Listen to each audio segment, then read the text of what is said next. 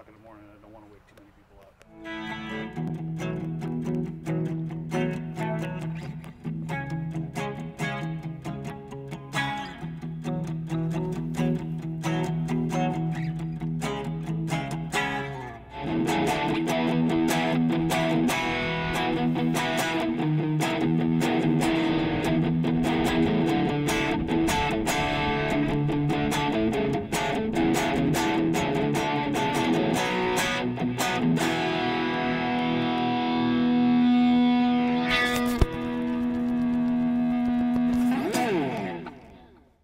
Heidi ho there again, boys and girls, and welcome to yet another edition of Live from the Tape Farm.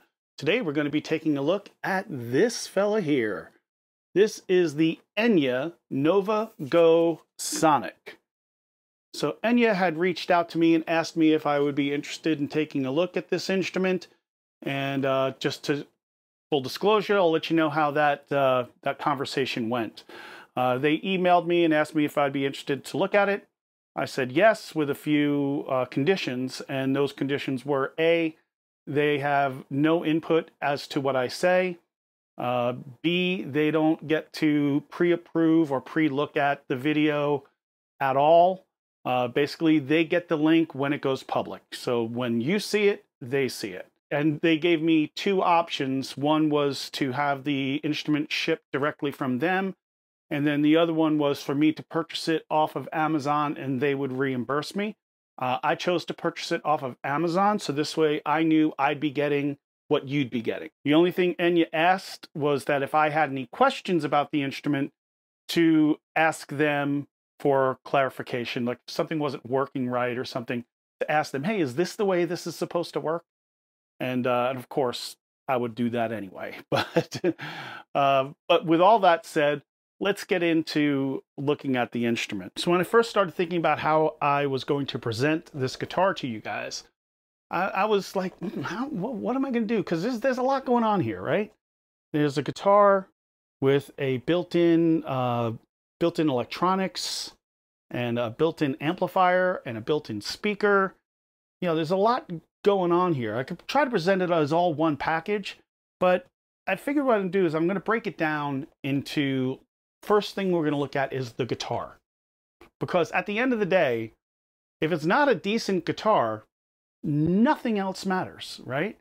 I mean, it could have all the fancy schmancy electronics in the world, but at the end of the day, if the guitar's no good, who cares?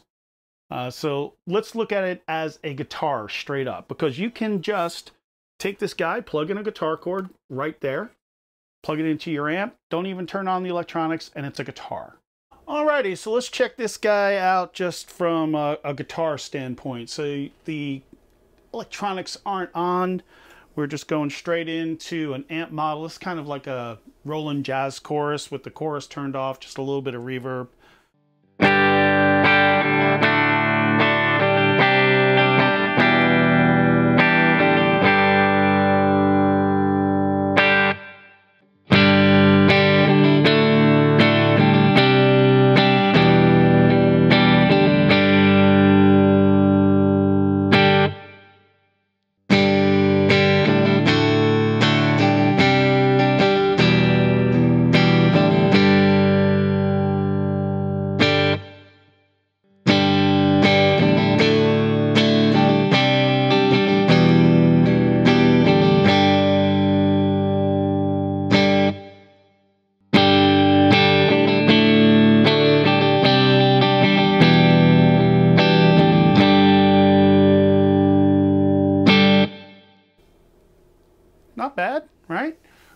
So let's uh, let's get a little bit of dirt going here. Uh, bass, a Fender Bassman with a little bit of distortion on it.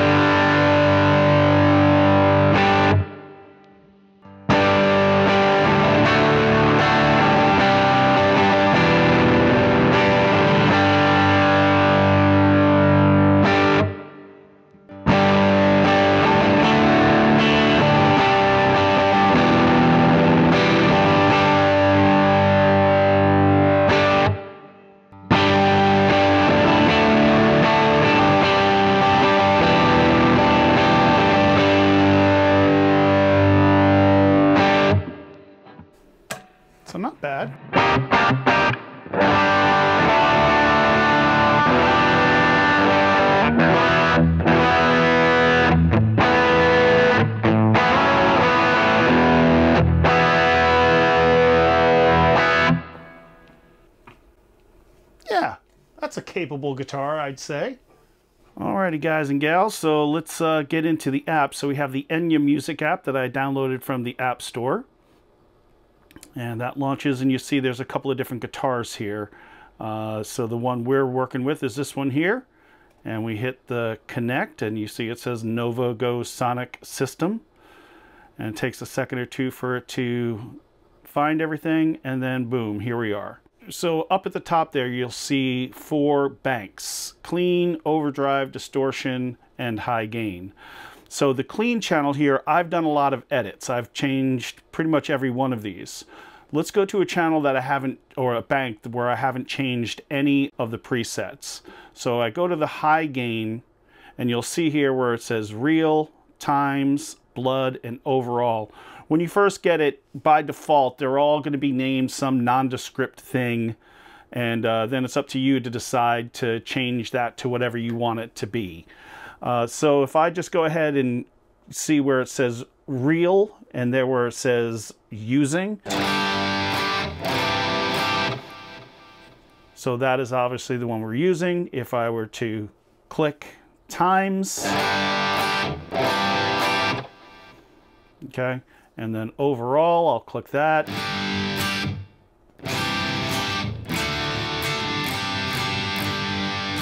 I'm going to show you how to edit one of these.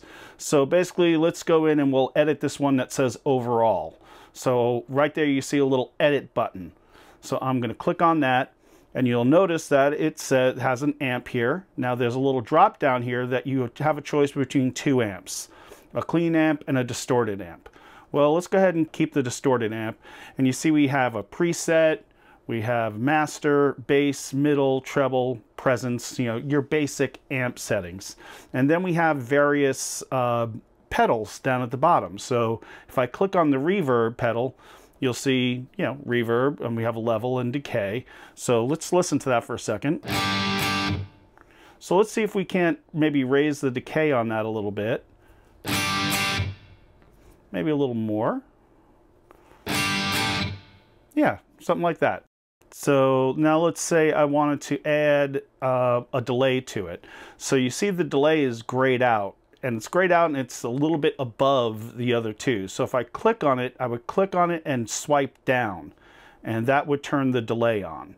So click, swipe down to turn it on, uh, click on it and swipe up to turn it off. And you'll notice the little red light on the delay switch coming on. So let's hear the delay, see what the um, by default it's on. See, let's turn that level up a little bit on it. So we're going to turn the time up as well. Maybe turn that time up slightly. There we go.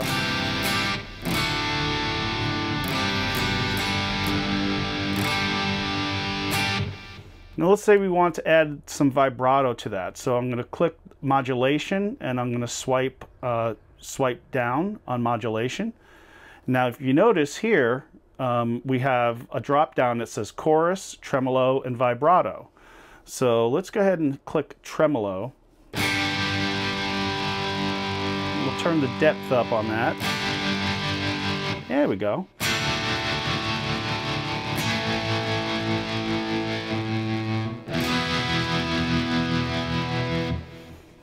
So we're going to go ahead and save that.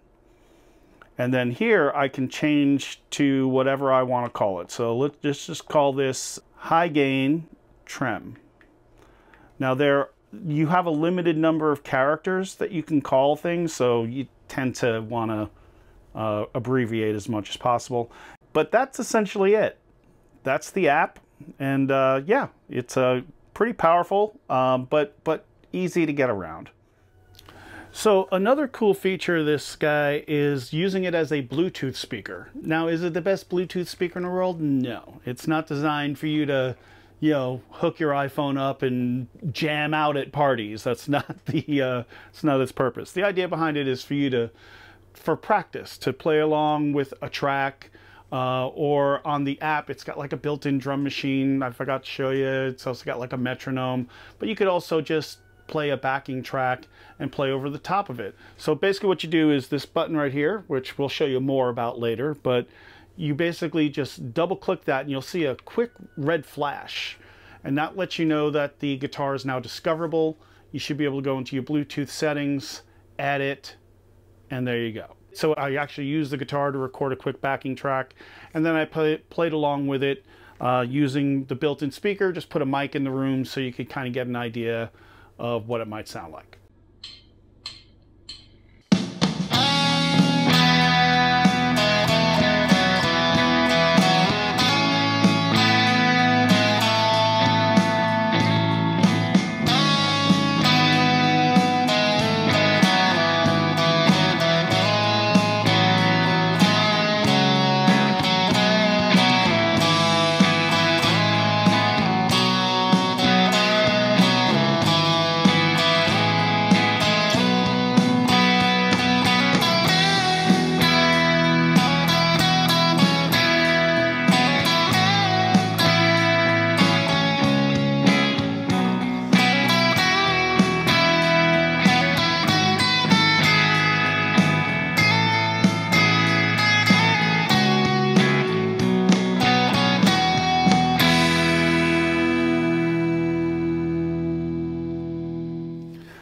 Alrighty, now it's finally time to tell you what's this button all about. Uh, so you see it's kind of got a kind of a green tinge to it. I press it once and it goes to kind of a blue. Then I press it again, it goes to kind of like a lighter blue, kind of teal. I kind of wish they would change that color a little bit. And then that uh, goes to purple. So basically what we're doing here is green is basically clean tones, green clean. The blue is kind of an overdrive sound. I have it set to a preset that has some chorus on it. Uh, the the kind of teal, lighter blue is more of a uh, distortion sound.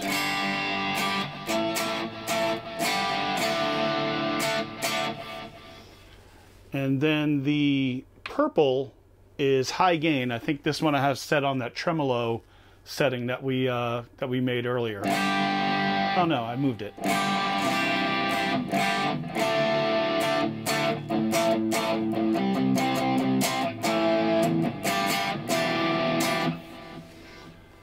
So that's so basically you have four banks of um, of sounds to go through, and in each one of those banks you have four presets.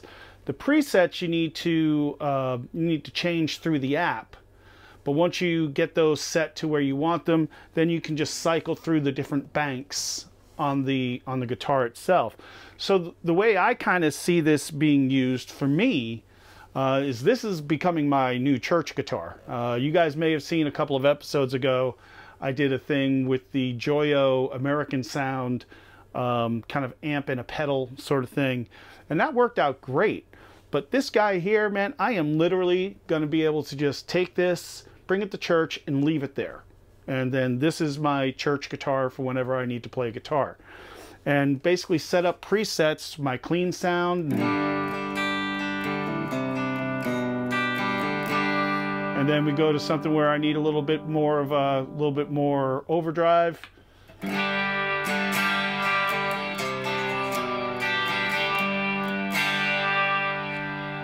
Just by flicking the button, I can cycle through the different sounds that I'm going to need on any particular Sunday. It's kind of an everything in one package deal. Uh, and then you add on top of it that, you know, great travel guitar and having that Bluetooth speaker and and just the, the speaker aspect of it. It's a great practice guitar. Plug it into headphones. You can noodle around on the couch while everybody else is watching TV. And then the next thing we're going to do is we're going to show you how to use it as an interface. So basically, you can just plug this straight into USB, no mics, no muss, no fuss, no interface needed, nothing. Just plug it into USB and use it that way. So let's check that out. I just have a regular USB, USB-C cable plugged into the back of my computer. And on the bottom here, you'll see a little USB-C connector so we just plug that into there with the, uh, with the guitar on. And you'll notice, boom, it just popped up on my computer Do you want to use this audio device, Enya NovaGo Sonic USB audio? Say use, and boom, preferences, audio, input device, Novasonic Go. I'm going to leave the output device as my interface. Input device, Novasonic Go, and say apply. Now hopefully this should just work. Create a new track. Oh, there it is.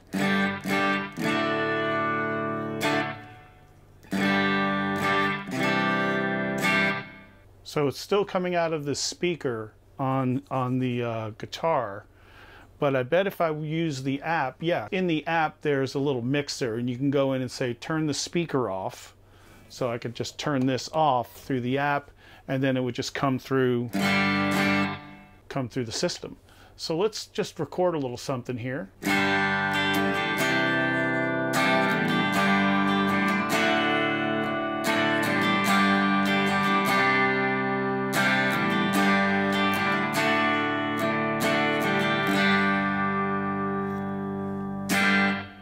Play that back.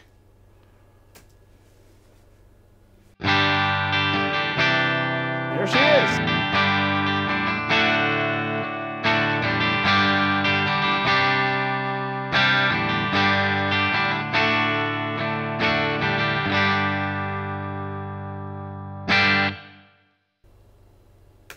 Cool. I almost like the way that sounds better than going with my guitar into the interface, but uh, we'll play with it more. So now that we've done all of this, we've jumped through every hoop. We've literally gone over this thing with a fine tooth comb. Now it's time to actually do a demo. Let's see what this thing sounds like. Uh, we'll write something, we'll put it together like we normally do, like a full production demo, and uh, do like a one or two minute uh, little ditty, and uh, see how she uh, see how she performs. Let's have at it.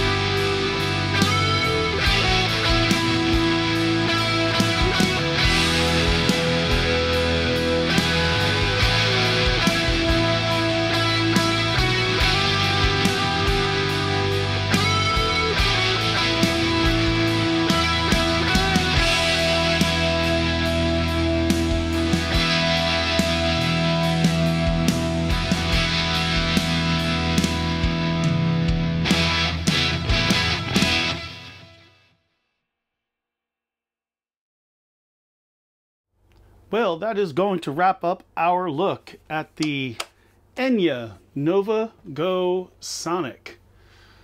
Man, that was a long one.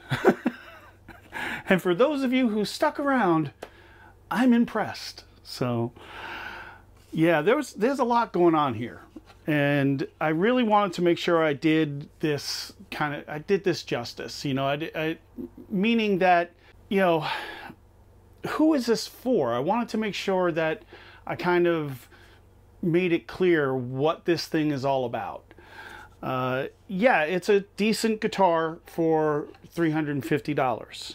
I think it's 399 and right now there's like a $50 off coupon on Amazon. So it's like $350. Uh, it's got a lot of really uh, interesting uh, features. Bluetooth speaker, the you know, it's a great practice guitar. It's a great travel guitar. It's a great um, small gig guitar, things like that. It's, it's very versatile.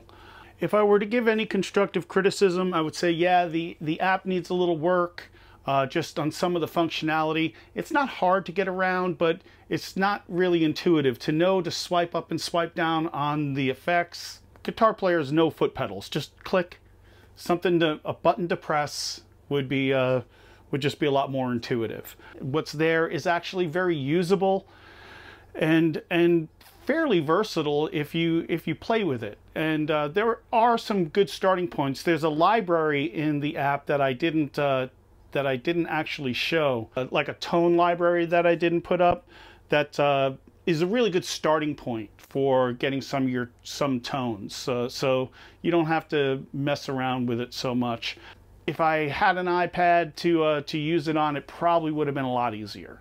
So if you have an iPad, probably not as big of a deal. Um, but uh, on a phone, just maneuvering things in the app can get a little cumbersome. Uh, but other than that, that's like easy software fixes. So I would expect the next iteration of this software to be uh, to be even better.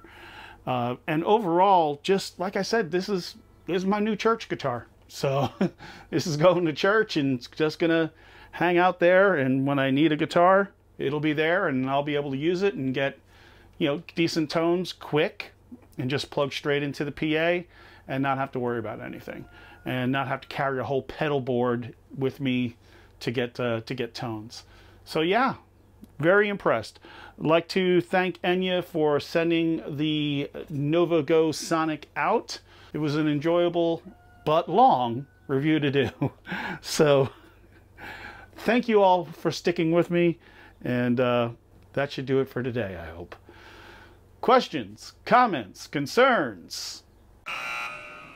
Cries of outrage! Hit me up in the comments below, and we'll catch you guys later. Rooster is just having a day. I don't know if you can hear him, but he's really happy.